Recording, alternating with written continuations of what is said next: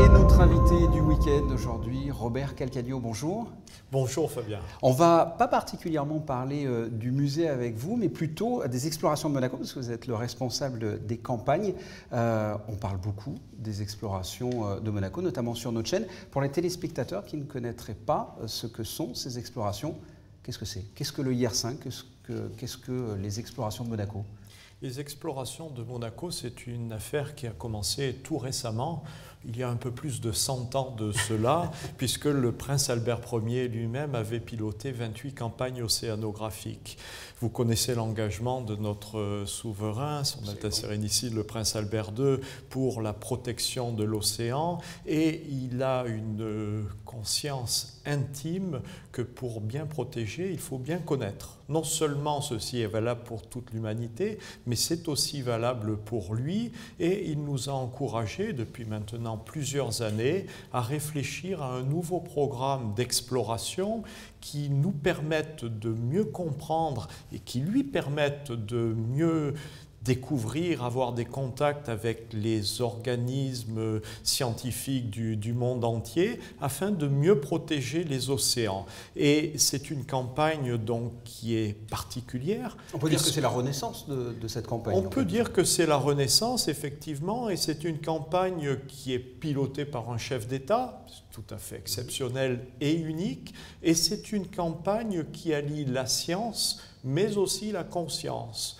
les recherches scientifiques locales et longitudinales et aussi la médiation, l'information, le fait de convaincre les personnes, de leur donner l'information pour mieux connaître et protéger les océans. Et là, donc, tout se passe sur un, bateau, euh, le Yersin. Qu'est-ce que vous y faites? Qu'est-ce qui est fait sur ce bateau?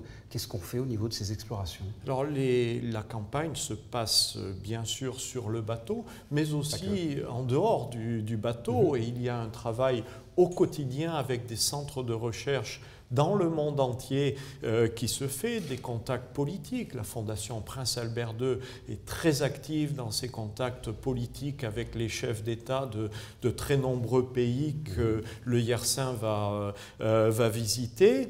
Quand euh, l'exploration de Monaco se retrouve sur le Yersin, il faut bien comprendre que c'est le fruit d'une longue période de, de, préparation. Et à ce moment-là, le Yersin va accueillir donc à son bord des équipes scientifiques locales, des équipes scientifiques que nous qualifions de longitudinales, c'est-à-dire des, équipes qu'on va retrouver à plusieurs endroits tout au long de la route du Yersin, mais aussi euh, pourquoi pas le, président du Cap Vert, le président du conseil gouvernemental de, euh, Madère pour euh, discuter, rencontrer, prendre des décisions.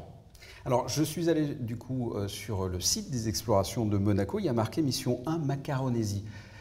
Je vous avoue, je suis allé après sur Internet, j'ai tapé Macaronésie et j'ai vu que c'était un ensemble euh, d'îles, euh, des Açores, de Madère, des îles Canaries et des îles du Cap-Vert.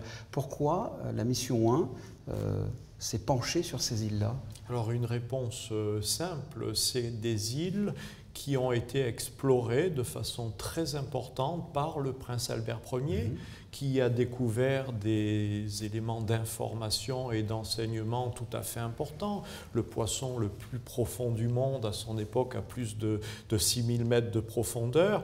Et le prince Albert Ier a également laissé un, leg, une, une histoire, une renommée, une notoriété très importante dans ces îles. Donc de façon je dirais, tout à fait naturel, le souverain a souhaité que nous commencions les explorations de Monaco sur ces terres, mhm. que sont, ces eaux plutôt, que son trisaïeul, son ancêtre, avait, avait explorées. C'est la raison principale pour laquelle nous avons commencé sur, euh, à l'archipel du Cap-Vert et l'archipel de Madère. Alors j'ai vu justement par rapport à cette mission euh, Macaronésie, euh, il y a quelques chiffres clés, 53 hein, jours de mission, 3150 milles nautiques parcourus sur deux archipels, donc vous l'avez dit, Madère et le Cap-Vert, 64 personnes accueillies au bord à bord du Yersin, entre des scientifiques, des responsables d'ONG et 12 opérations scientifiques. Est-ce que l'on peut déjà dresser un, bilan de cette, de cette mission? Le, le, bilan est extrêmement positif. Il faut reconnaître reconnaître que c'est la mise en route des explorations. Donc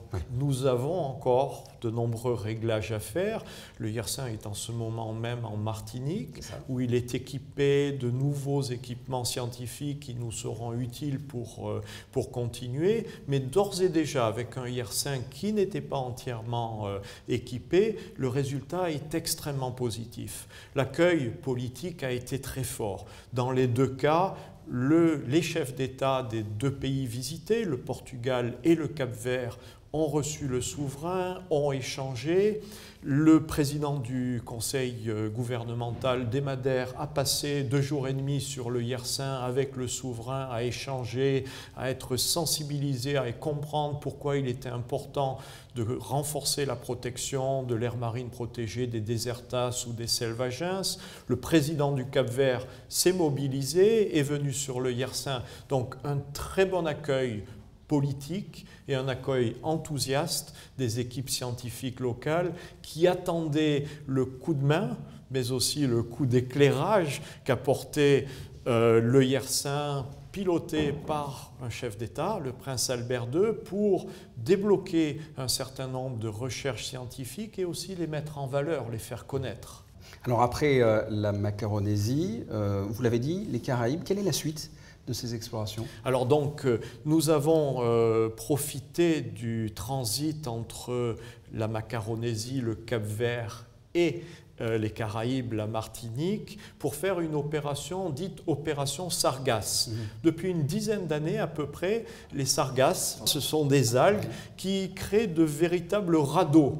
Euh, il y a des amas d'algues qui arrivent et quand ces algues arrivent sur les îles des Caraïbes, poussées par, euh, euh, par le vent, elles viennent s'amonceler sur les plages, pourrissent, dégagent des gaz toxiques et sont très mauvaises pour les îles. Ça coûte beaucoup d'argent pour les traiter, les incinérer ou autres. Donc nous avons profité de ce transit pour mieux étudier les sargasses et nous avons pu faire des mesures scientifiques mais aussi de belles images où on voit la lumière euh, du soleil traverser ces radeaux de sargasses et puis de, de très beaux poissons pélagiques qui utilisent un petit peu cet abri. Et donc les résultats sont amenés en Martinique. Il va y avoir des réunions d'échange, des conférences avec les élus locaux, avec la population. Nous en aurons certainement aussi à, à Monaco, peut-être au moment de la Monaco Ocean Week en avril 2018. Euh, euh, donc les sargasses.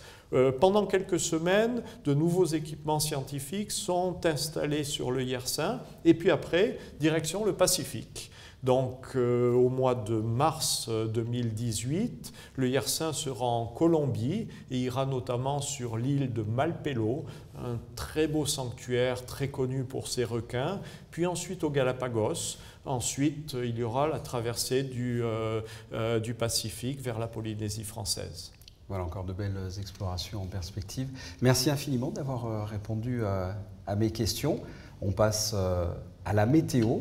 Euh, ce journal est terminé. Merci de l'avoir suivi. Je vous souhaite de passer un excellent week-end. À très bientôt. Au revoir.